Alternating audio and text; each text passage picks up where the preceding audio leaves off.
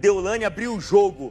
Em depoimento às autoridades, revelou quanto ganha por mês e quais são as origens de suas fontes de renda. Segundo Deolane, mensalmente ela ganha em torno de um milhão e meio de reais. Seus trabalhos como advogada, empresária e influenciadora.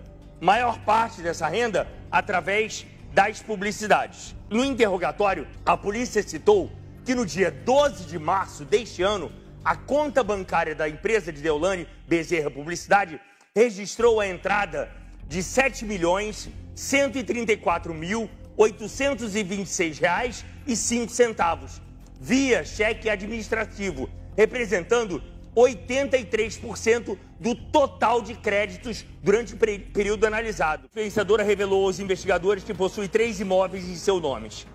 Em seu nome. Uma casa no condomínio de luxo em Alphaville, localizado em Barueri, comprada este ano, em 2024.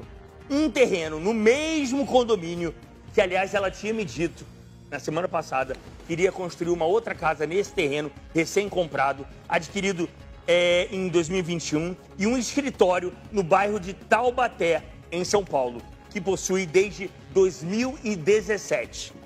Além disso, a influenciadora também revelou possuir três veículos em seu nome: uma Lamborghini de modelo de 2023, adquirida no mesmo ano, uma Land Rover, também de 2023, e um Toyota SW4, modelo também de 2023.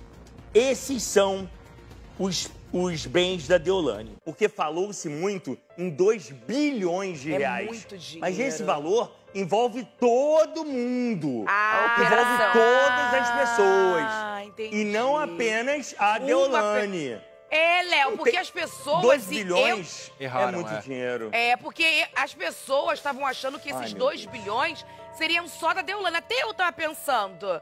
Porque o que a gente vê escrito, por isso que eu falo, gente, as pessoas falam muita coisa na internet e acaba passando uma informação errada. Então, esses 2 bilhões não é só de Deolane, é de um geral, é isso? De todos os envolvidos. De todos. De tudo, é Ah, é.